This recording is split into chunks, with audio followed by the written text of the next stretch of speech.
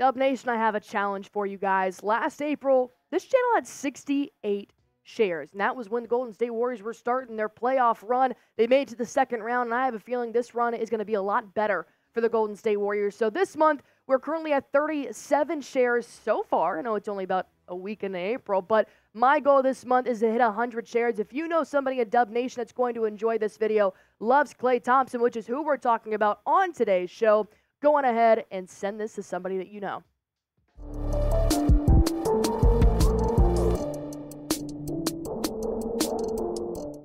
We're talking Klay Thompson contract extension rumors on Warriors Today by Chat Sports. You got Allie Barefoot here, and there has been a report that Klay Thompson is not expecting a massive deal like he kind of originally was before this regular season started. He kind of wanted more of a Draymond Green esque type of contract.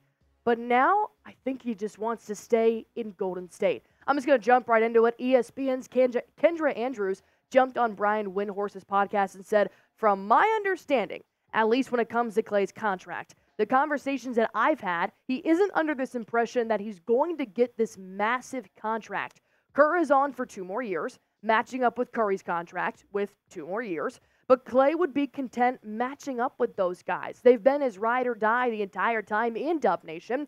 So Kendra said, let's finish this out. He understands where he's at in his career, what he's capable of, what he deserves. The other important thing is that he wants to feel appreciated by this organization. He wants them to come to him and say, We're going to take care of you. And I don't blame Klay Thompson at all for what he's done for the Golden State Warriors over the last decade, creating the Splash Brothers. Well, being a part of the Splash Brothers with Steph Curry, the three with Draymond Green and Curry as well. Klay has been a huge role in the Golden State Warriors' success. But we do know that this year has not been all peaches and cream for Klay Thompson. Mentally, physically, he's struggled. I would be struggling too if I came back from two major surgeries, but also the mental part of it is constantly being one of the best three point shooters in the NBA, in slightly falling off, shooting a career low 38% from downtown. So it just makes me wonder is this the last bit of juice in the tank?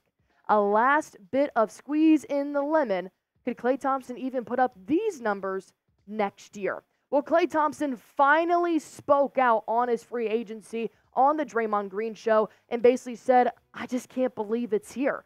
In your mid 20s, it's so crazy. You think you're going to play forever. You think you just maintain that athletic level that it seems effortless. But then as time goes on, you really do realize how demanding this job really is. It's so physically demanding. I was actually struggling with that a lot at the beginning of this year because of the unknown. I might have let contract situations, playing time, or making up a lot of excuses rather than just appreciating what is in front of me. It took me and Steve like four real heart to heart conversations to finally break my shell and be like, you know what? I just got to have fun this year. I deserve to have fun. We've worked so hard to freaking win these games, to be able to play into June with the fans on the road. There's just nothing better.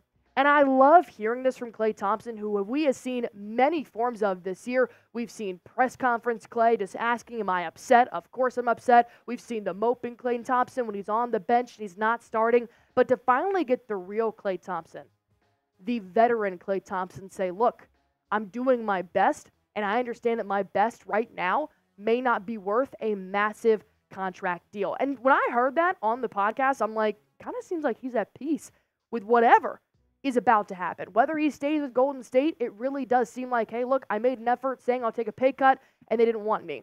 If he goes somewhere else, maybe he can be an ally and an asset there. But KT does realize that he probably has maximum five years left in his NBA career which is kind of sad to think about. So I have a question. Do you guys think this is going to be Klay's last year in the Bay Area? Type Y for yes, type N for no. I actually put a poll on the community post on the Warriors Today page, and a lot of you guys are saying you, of course, want Klay Thompson to stay as a Golden State Warrior. But with money and his experience this year, it may not be the ending result. So we're going to break up some teams who want Klay Thompson, who have shown interest in Klay Thompson towards the back half of the show, but I cannot get there without telling you guys about the number one daily fantasy sports app in America right now. And I want you guys to jump on this train because you can now win up to 100 times your money on prize picks with as little as four correct picks. You can turn $10 into a 1000 with basketball, hockey, and college basketball entries today on Prize Picks, America's number one daily fantasy sports app. If you're asking, Allie, how in the world do you play this app? Well, just pick between two to six players and just pick more or less on their projected stats. It is truly that easy. It takes me less than 60 seconds to make my picks, and you know I had to jump in on the March Madness action here tonight. I've got Zach Edey having more than 14 rebounds and assists, and I got Castle having more than 11 points. Plus, little to- total solar eclipse happened today, so they gave you a discount. Putting your shades on here for Graham, given more than three and a half pitcher strikeouts. So those are my prize picks. You can go ahead and make yours. Go to prizepicks.com slash CLNS. Use that promo code CLNS for a first time deposit match up to $100. Pick more, pick less. It is that easy. Adrian Wojnarowski did tweet out the salary cap projections for next year, what it's going to look like for majority of the NBA teams as they're heading into a new season. He's looking like a salary cap's going to be upwards of $141 million, with that minimum team salary about 127 million as well. You see your tax level, you got your first apron, and you've got your second apron. This is what a lot of NBA teams are going to be guiding towards next NBA season. So, NBA University went on ahead and did all the stats and math for me because you guys see me do mental math on air. I am very stupid. So, projected cap space for approximate teams this summer, you got Detroit looking at the most in their cap space, $61 million. You got Philly with Joel Embiid at 55 million is insane. That's still a big playoff contender team. You got Orlando, Utah, OKC, another great playoff team. And then you got the San Antonio Spurs with the future possible best player ever, Wemby. So when those, all those teams with that big of cap space, there are rumors now heating up that Klay Thompson could be going to the Orlando Magic. They've definitely been eyeing him. There are a lot of resources, a lot of young resources on the Orlando Magic. They almost wanted Chris Paul the trade deadline because they've been looking for that backcourt specialist. They've been looking for some offense, and they've been looking for a veteran. Plus, with Orlando, facing about three unrestricted free agents in the offseason and four restricted free agents in the offseason. There's going to be a lot of roster moves happening, possibly for the team down in Florida. And if you look at who could be returning, and this is pending any trades or anything like that, I can't predict the future. If I did, I'd be playing prize picks a lot more, code CLNS. But this is, this is the possible returners for the Orlando Magic. Jalen Suggs, who has become one of my favorite players to watch in the Eastern Conference. You got Jonathan Isaac, Wendell Carter Jr., Banchero, and then you have Moritz Wagner. This is still a very stacked roster that could really improve with the shooting of Klay Thompson. Plus, when you look at the Splash Brother possibly going down in Florida, with Wagner facing free agency, the Magic could use veteran experience with Klay Thompson and have a secondary score with the NBA All Star Banchero to possibly put a little bit more oomph under their asses and help them kind of break that limit. I know that the Orlando Magic was kind of creeping up here earlier this regular season, but now they've kind of fallen off under that five spot. So it does make me wonder if whether or not Klay Thompson could possibly be that missing link here for a team like Orlando. If not Orlando, what about Philly?